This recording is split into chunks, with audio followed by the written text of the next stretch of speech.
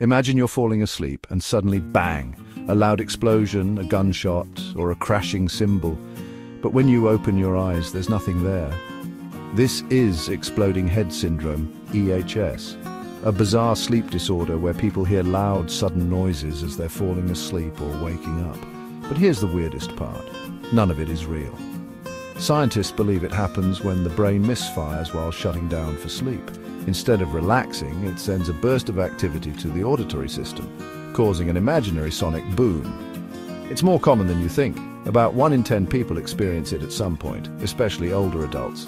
But even young people and those under high stress can have it too.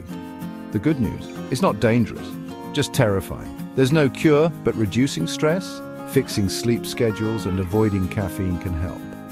While no famous cases of EHS exist, many celebrities suffer from strange sleep disorders. From Nikola Tesla's insomnia to Salvador Dali's bizarre micronaps.